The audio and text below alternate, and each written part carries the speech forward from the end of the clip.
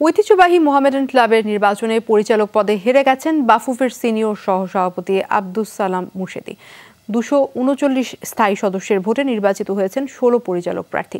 আর বিনা প্রতিদ্বন্দ্বিতায় সভাপতি নির্বাচিত হয়েছেন সাবেক সেনাপ্রধান, অবসরপ্রাপ্ত জেনারেল আব্দুল মুবিন। দীর্ঘদিনের আকাঙ্ক্ষা পূর্ণ হলো মোহামেডান ভক্তদের। দুইশো বত্রিশ ভোটারের ভোটে ষোলো পরিচালক পেল ঐতিহ্যের ধারক এই ক্লাবটি। বড় নামগুলোর মধ্যে নির্বাচিত হননি আব্দুল সালাম মুর্শিদি। ক্লাবকে হারানো ঐতিহ্য ফিরিয়ে দিতে কাজ করবেন বিজয়ীরা। অনেক দিন যে চ্যাম্পিয়ন হচ্ছি না সেই জায়গাগুলোকে যাতে আমরা ফের পুনরুদ্ধার করতে পারি ওই লেভেলের খেলা আবারও আমরা চাই যে মোহন ক্লাবে আবার সেটি ফেরত আসুক।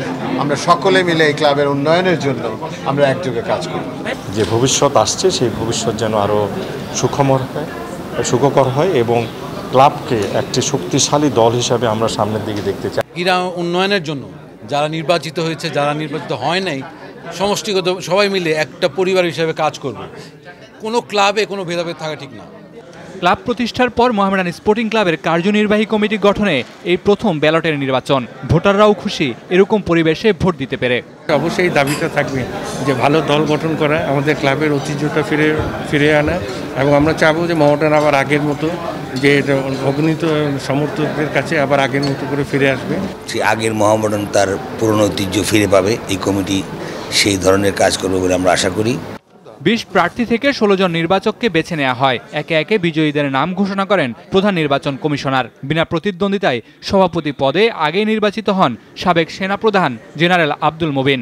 আমি আশা করব আপনাদের সকলের সহযোগিতায় মোহামেডান ক্লাবের যে হারানো ঐতিহ্য সেটা আমরা ফিরিয়ে আনার আপ্রাণ চেষ্টা করব। বিশ প্রার্থীর মধ্যে বাদ পড়া চারজন হলেন কামরুন নাহার ডানা সাজেদ এ আদেল আব্দুল সালাম মুর্শিদি ও মোস্তাকুর রহমান। মামুনুর রশিদ যমুনা স্পোর্টস ঢাকা।